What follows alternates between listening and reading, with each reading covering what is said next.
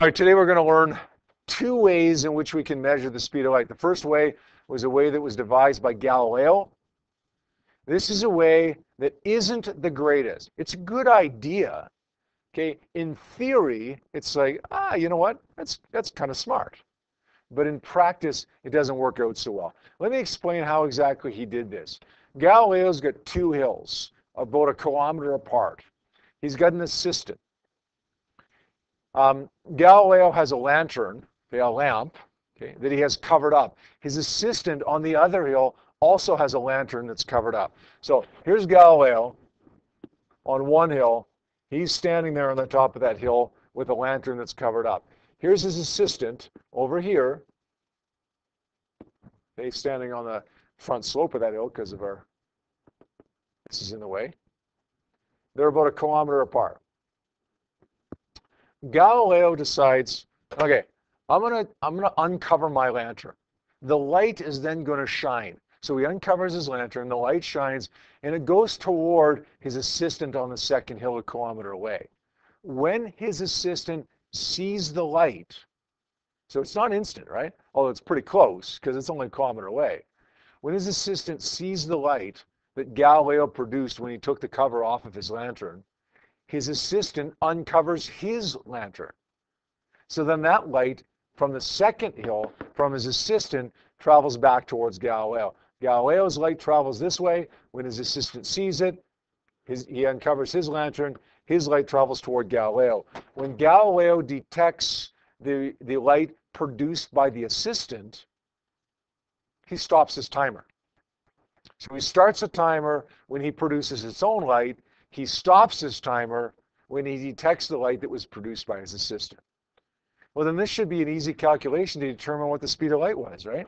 V is equal to D over T. The distance here is going to be two kilometers. Because his light traveled a kilometer,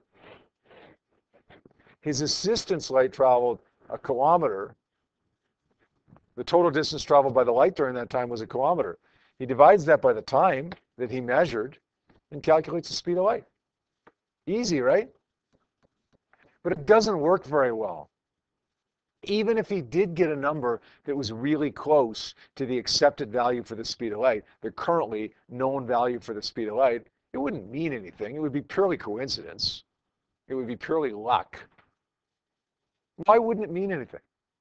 Why is the speed of light calculation that he gets a meaningless calculation? Why is he going to be probably way, way off? Josh?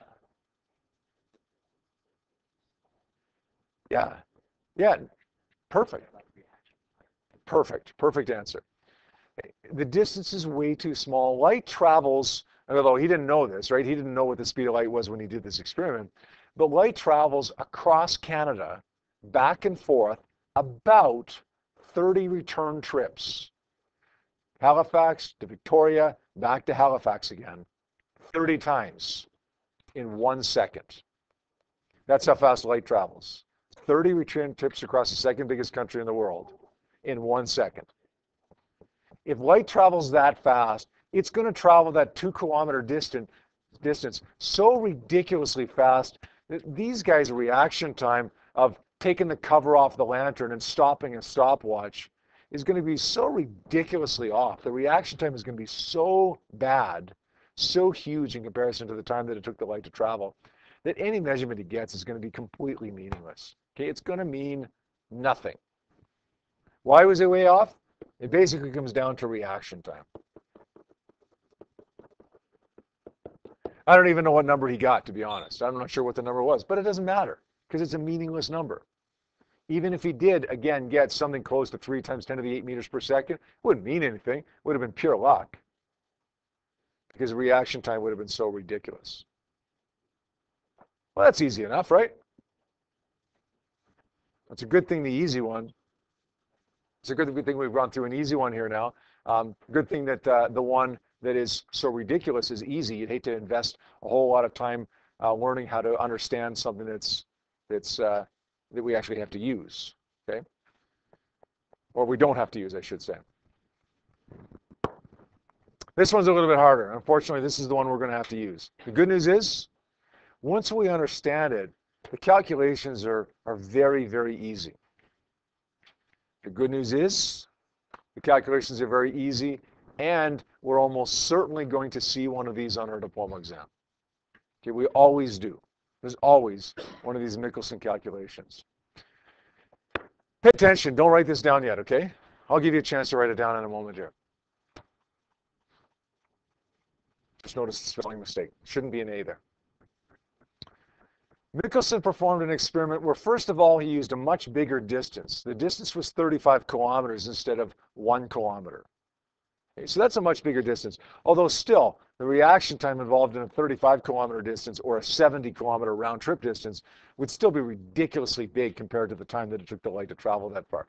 It's a much bigger distance, okay, which helps, but the way he measures the time is the real improvement over Galileo's system. Here's what he does. Got two mountains 35 kilometers apart. He's got a light source right here. Okay, that light will travel this way. He directs it this way towards this octagonal object that has a mirror on each of the faces, on each of the sides. So there's a mirror right here. There's a mirror right here, right here, and so on. Okay, that octagonally shaped mirror is at rest. When he shines the light off of this side, it reflects down here to another mirror on the other mountain, reflects back this way, reflects off of another side, gets detected right here. Make sense? He hasn't measured anything yet, but at least the, the light is being detected by this guy over here, the observer. He can't measure that time pull out a stopwatch, measures the time, still going to get a time that's ridiculously off because of reaction time. We're still dealing with a really, really small distance in the grand scheme of things. So what does he do? He starts rotating this mirror. He starts spinning it. As he starts spinning it, what happens?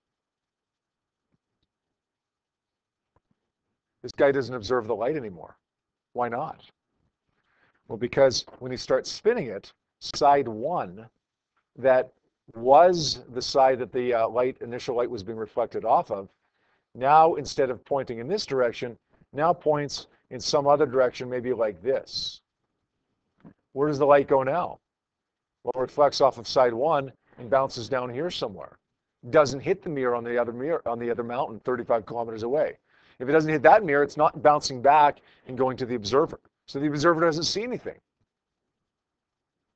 He turns the mirror on, it starts rotating, the observer doesn't see anything. So what does he do? He turns up the frequency of the mirror, he cranks it up a little bit, makes it go a little bit faster. Okay, the light reflects in some other direction, turns it up a little bit faster. The light reflects in some other direction, turns it up a little bit faster. And all of a sudden, the observer detects it again. So now this mirror is spinning and the observer is detecting the light. Why? Well, Let's say we've got side number one. Let's label these sides. Number one, number two, number three. Okay, and we don't really need to label the rest of them there. Sides one, two, and three. If it's not moving, then the light reflects off of side one and side three and gets detected by the observer. If it is moving, it reflects off of side one, but it reflects off in some kind of crazy direction. But if it's moving at just the right rate, side one will be over here. In side 2 will be over here. In side 8 will have come in to take the place of side 1. Now the light will reflect off of side 8 down here off of side 2 and get detected by the observer. That only happens if the mirror has made one eighth of a revolution, right? One eighth of a revolution in the time that it took the light to go from here back to here. That makes sense? Okay, if it's made one eighth of a revolution, then side number one is where side number two was. Side number eight is where side number one was. And we get the same shape. It's just reflecting off of a different side and getting detected by the observer. So now the observer detects the light. We know the frequency of the rotating mirror. That's a lot easier to determine. The frequency of the rotating mirror is a lot easier to determine than the time is. Even if we're off by a little bit on the frequency, that's okay. Okay, there's no reaction time involved in the frequency. That's the big thing right there. If we know the frequency, then we can determine the period easily. And from the period, we can determine how long it took the light to travel from here to here and back to here. And if we know the time and we know the distance, then we can determine the speed of light. Does that make some sense? Good pun, Tenor. Um, that should say, that's another typo. It should say, uh, no, no, that's right, actually. Um, yeah, sorry, right there. Or a multiple of one eighth of revolution. Because you can imagine how, listen, uh, when I described that the first time, I said site eight has come in to replace side one, side one replaces side two, side two replaces side three. Well, it could have made two eighths of revolution, right? And side seven could have come in here site 8 here and side 1 there. We get the same effect, right? But we don't normally do that. We don't normally do a multiple of 1 eighth of revolution because you're turning the frequency up, right? And the first time when it's rotating that you see the light at the detector, well, that's going to be 1 eighth of revolution, right? In order to get 2 eighths or 3 eighths, you've got to turn the frequency up, right? And you're probably not going to do that. Why would you? You've detected the EMR, you've detected the light at the observer. Why would you turn it up further? Because you've just accomplished what you wanted to do. So it could happen at a higher multiple, but usually we don't see that. So how exactly are we going to use this to determine the speed of light, calculation-wise that is? Well, good news is there's two equations that we're always going to use here. They're always the same two. That's what makes this easy. That's what makes the calculations involved here easy. That's why when we see this question on a diploma exam, we should get it. Every single one of us should get it. Okay? What I want you to do is write down these two equations every time you see one of these Michelson rotating mirror questions. V equals T over T, and T is equal to 1 over F.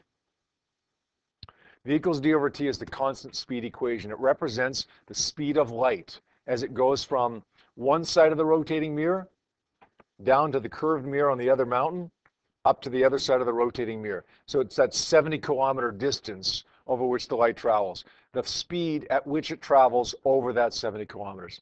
T, little t here, well, that represents the time that it took to travel that 70 kilometer distance. Over on the other side, we see a big T. That represents the period. That's the time that it takes the mirror to make one complete revolution. Okay, the rotating mirror makes one complete revolution in that amount of time. F is the frequency. Usually we're given the frequency of the rotating mirror. What I want you to do when you've written down these two equations every single time is plug numbers in and get something out of it. I don't care what you get out of it. Get something out of it. I guarantee you it will not be the answer you're looking for. The first number that pops out of these two equations will not be the answer you're looking for it will almost certainly be a time. It'll either be big T or little t, big T or little t. Okay, the time for one complete revolution or the time that it takes the light to go from here to here and back to here, which is the time for one eighth of revolution. You're going to solve for one of those times. And you're going to, from that time, get the other time. If you've got the time for one eighth of revolution, get the time for one revolution by multiplying it by eight. If you've got the time for one revolution, then get the time for one eighth of revolution by dividing by eight. Plug numbers in, get a time, then get the other time. And then solve for what you're looking for. Sounds easy. It is. Okay, let's do an example. The set of rotating mirrors in Michelson's experiment was rotating at 533 hertz and the curved mirror was 35 kilometers away. Show how Michelson determined the speed of light from these data. Let's just get the speed of light from this data. So we've got a frequency of the rotating mirror here is 533 hertz. And we've got the, the mirrors 35 kilometers away. That means the distance the light has to travel is going to be 70,000 meters, right? 70 kilometers or 70,000 meters. We want to get V. Two equations, right, every time. V equals D over T, G is equal to 1 over F. Same way every single time. Remember the strategy? It's a great strategy. Just plug in whatever and solve for whatever. You don't have to worry about anything here. We're looking for V, don't know it. D, we do. 70,000 meters. T, we don't know it, all right? Wasn't very helpful. Let's plug in numbers to the other one. T, do we know it? No, we don't. F, do we know it? Yes, 533 hertz. Okay, let's go 1 divided by 533 and see what big T is, see what the period is here. 0.001876 seconds. All right. What have we just found? I told you, you're going to find something. It's not what you're looking for, but you're going to get something out of this. What is this? It's the time for one complete revolution. Remember what we said, though? We don't want the time for one revolution. Okay, we always want the other time. Whatever time comes out of this, we want the other one. So how do we get the time for one eighth of revolution? it by 8. So the time for one eighth of a, of a can't say it, of a revol, the time for one eighth of a revolution is 0.001876 divided by 8. What is that, Tanner? 2.345 times 10 to the negative 4 seconds. Now, we've got the time for one eighth of revolution. Let's go 70,000 meters divided by 2.345 times 10 to the negative 4 seconds. And what do we get for that? Uh, 3.0 times 10 to the 8. Three digits here, 3.00 times 10 to the 8 meters per second. Got it. Well, that's a pretty good value. That's pretty darn close to the currently accepted value. The currently accepted value to three digits, in fact, is 3.00. Okay, it goes further, 2.999, whatever. But to three digits, that's good. All we did here, guys, two equations, right? Same as we always do. Same two equations. Plug your numbers in. Get one of the times. Get either big T or little t. In this case, we got big T. You get big T, divide by 8. You get little t, what are you going to do? Times it by 8. Plug it into the other equation, solve for what you're looking for. Done. Got it? All right. There are three questions that go along with this. I'd like you, before the end of class today, guys, to finish question number one. So let's work on question number one right now and try to get that done before the bell goes today, just so that we make sure we're kind of on the right track. Okay, we're not going to worry about question two and three, and I'll explain later why we're not going to worry about two and three right now. Okay, we'll worry about those tomorrow. Just focus on number one right now and try to get that done, please. Okay, let's quickly do this. We got a 12-sided mirror. Okay, we got a speed given to us is 2.88 times 10 to the 8, 30 kilometers there, 30 kilometers back. Uh, we want to know the frequency this time. So let's say v is equal to d over t, and let's say t is equal to 1 over f. This t represents the time for 1 12th of revolution. This is one revolution. Let's plug in some numbers. We know what v is. It's 2.88 times 10 to the 8. The example question we did, we didn't know what v was. That's what we were trying to find. We know what d is. It's 60,000 meters. That allows me to solve for t, the time for 1 12th of revolution. What does that work out to be? Lots of you have this already. So somebody tell me what t is. 2.083 times 10 to the negative 4 seconds. Remember, that's not the time that I want. Whatever time that I get is not the time that I want. What do I got to do with that? Let's times it by 12. What do we get for that? The time for one revolution. One second, guys. What is it? 0.0025 seconds. Hold on, please. So now we're going to say 0.0025 is equal to 1 over f, solve for frequency, and that should give me 400 hertz. If you're dealing with a question like this and the distance is in that range that Michelson used, 30, 35, 40 kilometers, and you're dealing with an eight-sided mirror, a 10-sided mirror, something in that range that Michelson used, then you're probably going to end up with a frequency that's 4, 5, 6, 700 hertz, 10 to the 2 hertz. Okay, if you're dealing with numbers in your question that are dramatically different, then this is going to be dramatically different as well. But normally, you should expect 10 to the 2, something, times 10 to the 2 hertz. Okay? Your homework is those check and reflect questions. Let's finish those up for tomorrow, and we'll, we'll continue on this uh, tomorrow in class. Have a good night, guys.